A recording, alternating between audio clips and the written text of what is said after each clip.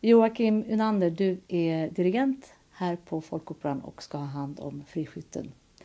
Eh, vad är Friskytten för opera rent musikaliskt? Det är en opera som kommer eh, i Beethovens tidevarv. Det är en opera som kommer i begynnelsen av den romantiska epoken som man brukar kalla den. Som börjar där med Mendelssohn och eh, Schumann. Det är precis i den där brytningstiden kan man säga.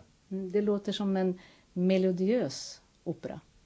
Det är den. Jag tror Weber var väldigt influerad, väldigt influerad som många andra vid den här tiden av Schubert och hans sångkonst med lieder och så vidare. Så det är klart att den har ju en, en, eh, en stark melodisk identitet, det har den ju verkligen. Mm. Den har inte spelats på väldigt många år här i Sverige. Nej. Eh, varför ska man spela den nu då? Därför att det finns ett tomrum efter det här stycket som är så oerhört populärt i Tyskland framförallt. Och eh, det är verkligen på tiden att man gör den i Sverige. Därför att den har några särskilda kvaliteter då?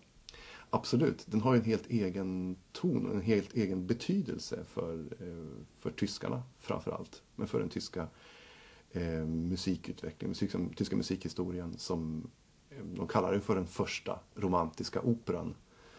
Och eh, något sånt kan man ju inte vara utan att sätta upp i ett så starkt kulturland som Sverige. Mm. Det måste finnas med. Tror du att vi svenskar kan eh, känna igen oss i den här musiken? Eller är det en musik som så att säga, är mycket tysk?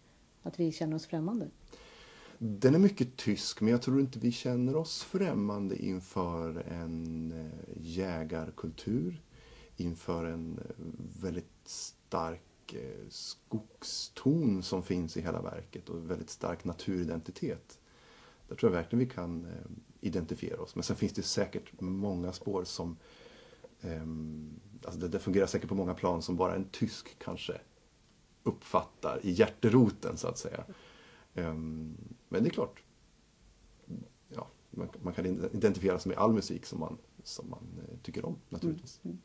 Finns det några delar i den här operan som du själv tycker är speciellt eh, vackra eller intressanta?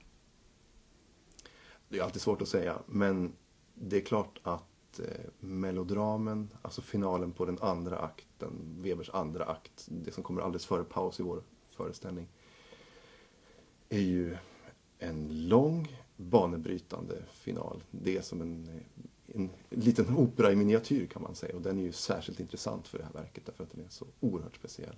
Mm. Så den kan man så att säga hålla utkik efter eller lyssna särskilt efter? Den kommer man inte att missa kan jag säga. Okay. Ja. Kan du avslöja något mer om den finalen? alltså den, eh, den handlar ju om Max och Kaspar i vargklyftan på det allra otäckaste stället i skogen. Och det är ju en är som en liten skräckfilm kan man säga. Den är oerhört filmisk faktiskt för sin tid. Väldigt framåtblickande och eh, väldigt modern känns den.